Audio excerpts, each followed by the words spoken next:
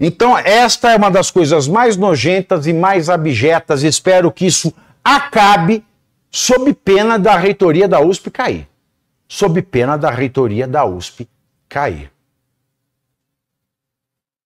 Porque esse país, ele não tem mais sentido. As coisas não têm mais coesão. Você veja, por exemplo, o caso do STF, que eu não vou entrar a fundo, mas os ministros do STF estão pressionando o judiciário para punir os procuradores e os juízes da Lava Jato depois de 10 anos do início da Lava Jato.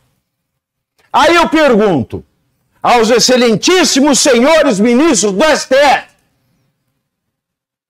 por que vossas excelências não pressionam o ministro Dias Toffoli a analisar o pedido inicial da ação penal promovida pela família do Clesão, que morreu na papuda por ilegalidade do ministro Alexandre de Moraes.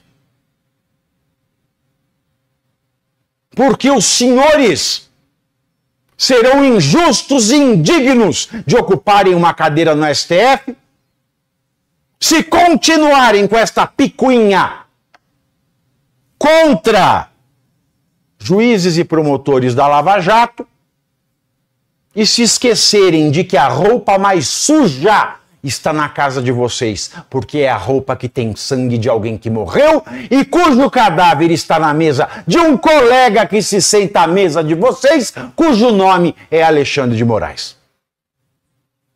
Vocês só terão alguma dignidade, seriedade, credibilidade de fazerem esta pressão sobre a Lava Jato, se e somente se colocarem o ministro Alexandre de Moraes num lugar onde ele deve estar, que é o banco dos réus.